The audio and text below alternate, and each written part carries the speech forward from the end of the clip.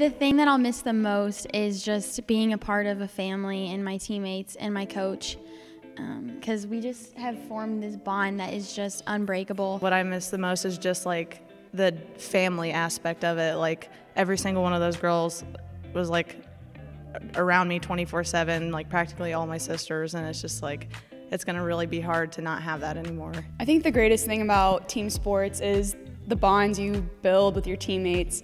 Um, we all have specific jobs, but when we come together, we are like a well-oiled machine and we get the job done. Um, just the, the bonds you make. Me and Mia have this special bond when I'm in center field and she's pitching. She looks out to me and I get chills. Just, we know what we're about to do. We're about to do the thing. We're ready to rock. Just love it. Um, my favorite part of being a student athlete on the tennis team was being able to help build a program from scratch, um, getting experience playing NAIA, NCAA Division II, GLIAC, um, one of the top conferences in the country, um, being able to lead my underclassmen and provide a very solid base for the future of this tennis program. Coming in as freshmen, we were these little girls really that you know had no idea what college soccer was and now we've grown to these like strong independent women that i know that we're all going to succeed and because of the things we've learned in soccer and the things we've been through and a lot of it like all together we're going to be stronger women for it uh, the thing that I'll miss most about being on the team is uh, all the traveling and the tournaments that we go to. Um, between like the practice rounds and the bus rides, we're always having a blast. So uh, the tournaments is what, are, what I'm going to miss the most. I miss competing with all the great players we got to compete with over the years. So we got to go to a lot of great tracks, play a lot of great players, both from international and all over the country. It really was just amazing to get out there with a set of competition you really can't get just locally. I love waking up every day, um, training with the guys that uh, that I love and you know that are family, and it's a sport that I love and I'll, I'll never forget. Uh, being on a team, you have like an automatic family, and you spend so much time with with each one of these girls that they become like a sister, and you just know everything about them, and going through the ups and downs together. That's probably what I'll miss the most. Probably gonna miss Ken the most. Uh, he's basically like a second dad. So uh, I miss the hotel breakfasts. Um, staying in hotels. That was always fun with, with, with your friends. What I'm gonna miss the most is Austin's beard. I'm gonna miss El Salto the most. I'm gonna miss the most is uh, vacuuming my carpet. Um, once I leave here, I won't have my apartment anymore, and I won't have that luscious carpet to uh, tend to anymore.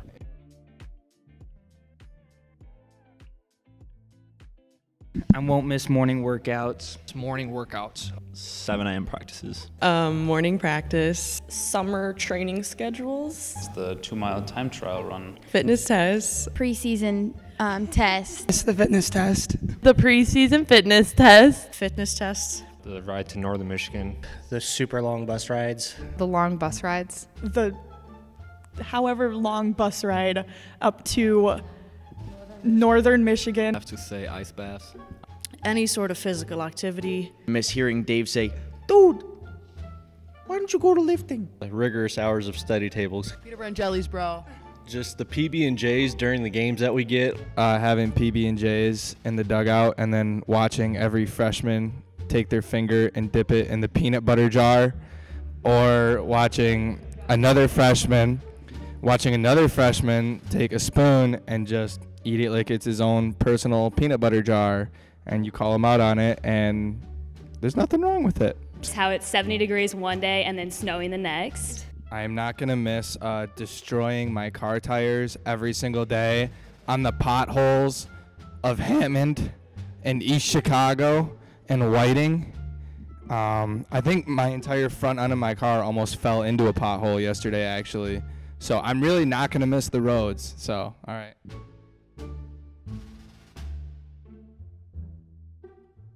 Coach he he was kind of special because he you know this is his career. It's not he's not you know just coaching uh, every day. He's going and teaching lessons at a club you know this is his life and he's extremely knowledgeable about the golf swing and he's taught me and I know everybody quite a bit about you know thinking your way around the golf course and the golf swing itself. So it's kind of it's really been a privilege to you know work play for him and work under him and just learn from what he has to tell us Um, I really liked his attitude. He really cares a lot about each of his players, uh, which really motivates you to come in each and every day and make those long trips day in and day out with everybody, whether we're struggling or playing well. It's nice to have a guy that cares about you no matter how you play. For me, my favorite part about having Lucian as a coach, he was always very motivating um, and always kind of pushed us to our limits and to really like see our potential and what we could accomplish in four years. Uh, for example, never did I think that I would have such a close match against Wayne State, um, but here, like this spring season, I was able to be able to have a close match when usually they are number one in our conference, and it's something that is very hard to accomplish. So it's something that we continue to push ourselves every single match, and that's something I'm going to miss a lot. Favorite part of being a student athlete for, for Coach Lou was um, just being able to be the leader of the team, giving the, being given those leadership roles, and just being able to have a um, long-lasting impact on the program um, and on the future of the student athletes that are going to join the tennis team. Part about playing for Medj was um, just, I love how he emphasized school first. Um, you know, some coaches emphasize it more than others, but that and how much he put family first. Um, I know if any of us really needed to go home and um, see our family if something happened, I know he would say, you know, nothing's important here. Go spend time with your family. Family's first. So I really appreciated that, and I just I really love that about him. I would say favorite part about playing for Medj was like like she said, all of that is, you know, his priorities. What what he, you know, allowed us to prioritize, and um, I would say that like even when we had like rough days, he would still like make us laugh and like joke around with us. He was always joking with us and saying crazy funny things that we would always like make fun of him and joke around with him. Um, like he'd always call us foxes. He'd always tell us he'd be like, "All right, foxes, let's go." And like just stuff like that. We just we had we had fun overall. I think my favorite thing about her is that how supportive she is in life and on the court. I feel like I came in as a freshman timid and scared of just the world and she has taught me to become a strong independent woman and I'm ready to take on the real world and get a job and just face life itself and so I think coming taking away something from volleyball and putting that into real world. She's taught me so many things like life-changing things that i just am so grateful for. And not only is she a role model but she practices what she preaches. And um, i love that. She's so strong and has helped us become strong players and people. So i'm forever grateful for everything she's done. My favorite thing about coach is not only the things she teaches us about volleyball, but the things that she teaches us about life. So, coming in, I know from the start a lot of her things were I don't want you to just be strong players, I want you to be strong women, and I want you to empower yourself, and I want you to do things for you. And I took that very seriously, and so that as I went through my college career and I now am in the real world and do stuff for myself, that I always keep that in the back of my mind and I don't ever let anyone else make me feel a way that I don't want to feel. And she'll use that a lot of times, even during the game. She'll be like, don't let this team make you feel some other way.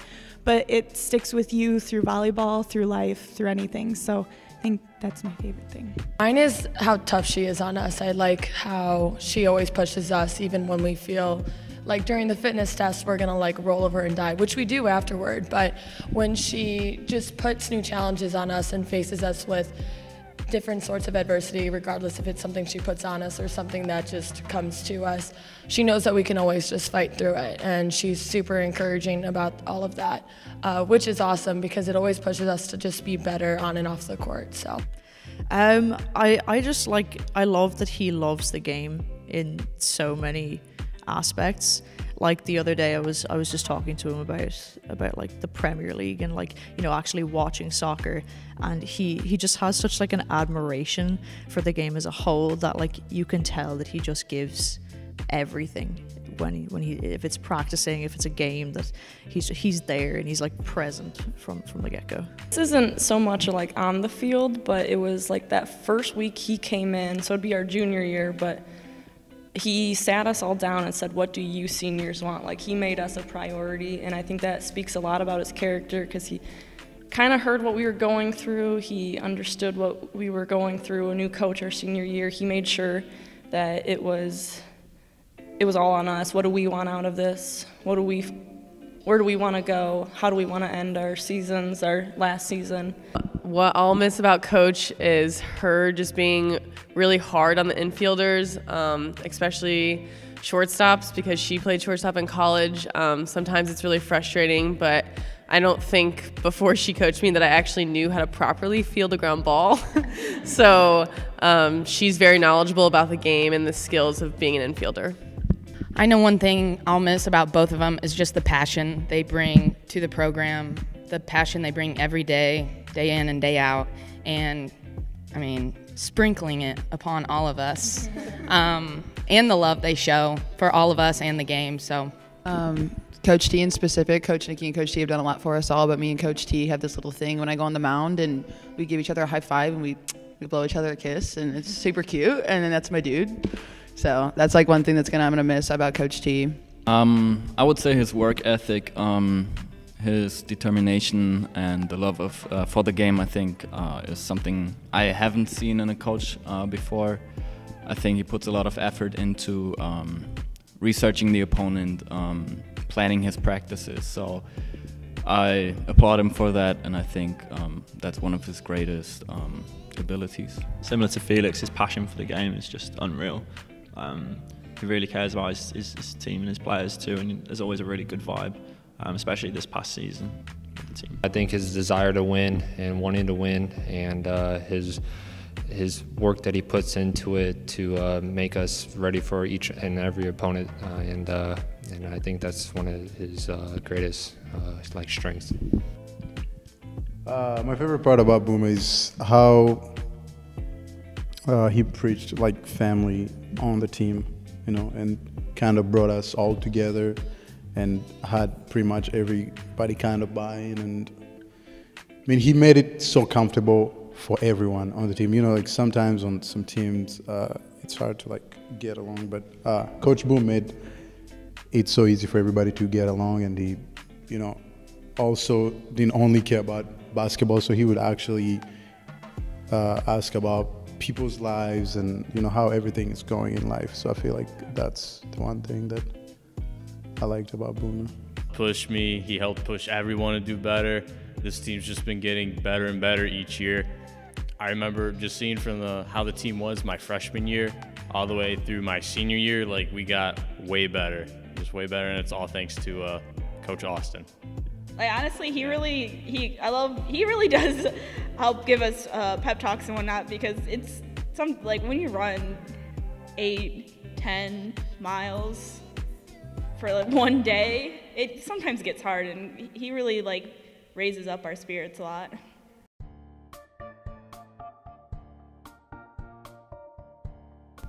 So, coach has this look that everybody knows what it means, but there's no words. It's just, he doesn't need to say anything. A lot of times it's when he hears something that we're talking about that he didn't want to hear, and he makes that face, and you just kind of know what he, exactly what he's going to say, but he doesn't ever have to say it.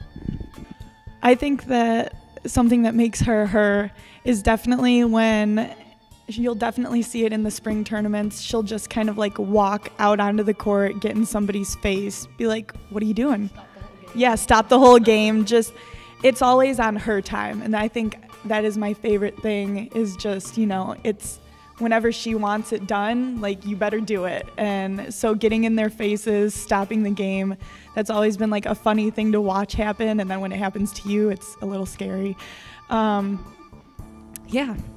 Is she always has a pen during the games and she just clicks, just clicks the whole time. Well, her loudness. Because even if she's in the other room, you can hear her yelling or just talking. always comes into practice like with a Starbucks cup full of water, or she always has her like steel water bottle that is always and it always gets knocked over somehow. Like and yeah, that's one thing that I'll like remember that she always has water. Wavy style. That's what I'm saying. Like she pulls like she just like dresses just how she wants to all the time, regardless if she's like in heels and like really like dolled up for a game, or she shows up to practice in her board shorts, or sometimes she'll wear like the I don't they were like leggings and everybody one time we came to practice and she was wearing leggings and we thought she was wearing like knee socks and she wasn't but they were just like leggings but they were like cloth and they were like socks. We were like sitting there for a whole practice like coach what's up with the knee socks? She's like they're part of my leggings. We're like oh okay. She pulls beanies. I mean whatever it is that she wants to wear she'll wear it but she like rocks it so it's awesome her style. These she had these pair of like I think they were like swim trunk pants, and she would wear them to practice. And they were the most random shorts ever. But she would just like walk in and shred her stuff into practice. Just yeah, with the hat. It was all they always had a hat. um, he's he's full of dad jokes. He like he, I just remember it was like one of the first days that we had him and we were still like not really sure what he was like and one of the girls had like her nails painted but one of them was like a different color and he went up and he was like oh do you do you know that one of those is a different color? And we were just like oh my god. Like he's just like full of those kind of jokes. So yeah. Honestly his dad jokes. Last year we made him like best dad it, yeah best dad jokes or something because he would say stuff like let's go light up the net. we were like, goalies, are you ready? we're like, okay. Definitely his playlist. At the beginning of the season, he'll always ask us what we want, like music wise, and he just like hodgepodge it together so you never know what song's gonna play next. Uh, sometimes they'll be rapping country and then like Disney like play sometimes. and we, we all just jam out, and it's always during speed workouts. Shout out to Kendrick Lamar. Ryan Hayes loves to tell stories before every game. So we'll all get together in like a, a huddle pre-match, and um, he'll start telling a story to kind of get us in the zone. Um, his stories always leave us like really confused. Um, there was one about coffee beans. Be coffee, my friend. Be coffee. Um, be coffee beans. But then, what, is it, what does the story go? Like stronger, in, stronger in water or something like that. Anyway, it was. I think we won that game though, to be honest. Be coffee. Be coffee. Yeah, it works. dude, dude, dude, dude, go get me Wendy's. Dude, dude, dude. When are you gonna learn to start hitting the ball down? You always swing up and you're never gonna make contact. You think you're gonna hit? Not here.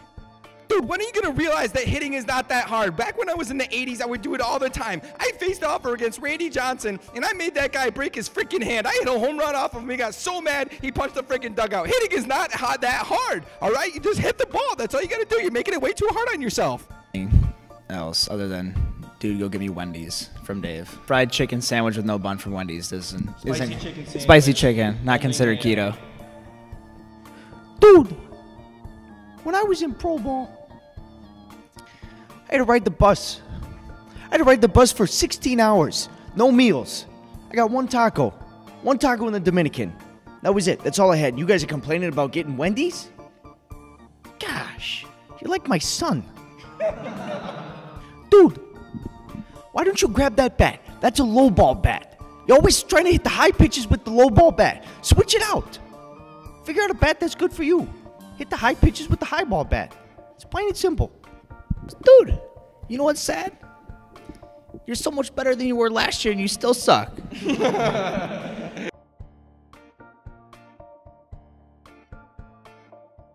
way back from a spring tournament, which we won, by the way. And coach, we're like singing this song, we're like playing and jamming out on a bus ride back. And all of a sudden, like it's real quiet, and coach just starts singing. It was club going up on a Tuesday, and she's like spitting out these lines, and everyone just like turns and looks at her, and we're just like dying because our coach is just spitting out verses here. So I thought that was hilarious. So junior year, this is probably my favorite memory. Um, we were in practice, just scrimmaging, and um, Lauren out of the blue was running back to get back behind the ball, and Scorpion so hard. And honestly, everyone just started dying laughing. And coach just stopped practice because we weren't going to be able to do anything after that.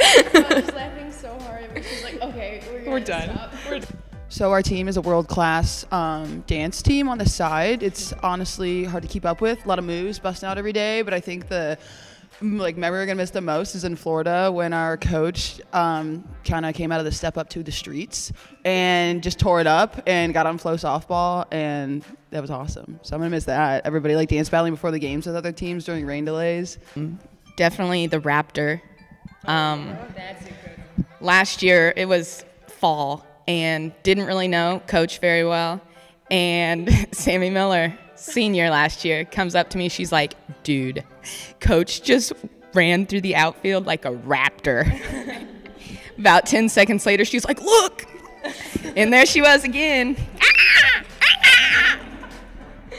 For me, I would definitely have to say my first year that I've been here, um, we went to the NAIA tournament, national tournament, and we left pretty early in the morning. And one of our players uh, just didn't show up. We tried to call him. Um, he said he was on the way, but actually was still in bed. Um, and we ended up leaving him because otherwise we would have been late to the game. But yeah, we're still making jokes about him. This is way back to my freshman year. Uh, in the spring semester, we were down in a tournament, and uh, we went to Texas Roadhouse after a practice round. And uh, Leo had about 10 of those like biscuit rolls that are like a thousand calories each. So I just remember we ate so much food that night, and we could barely walk out of the place after we were done. Coach, I apologize for my texting abilities. Um, I now know to put my phone away after 12 o'clock.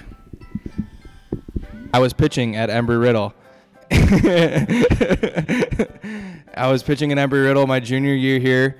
Uh, I gave up the farthest home run I guess anybody who's ever played baseball has ever seen because it's still all that we talk about. Um, we Google mapped it. It was 500 feet. My roommate Fless was pitching, and uh, I hadn't seen this done before. He threw the first pitch of the baseball game, and it went over the fence. And then he threw the second pitch of the baseball game, and it also went over the fence.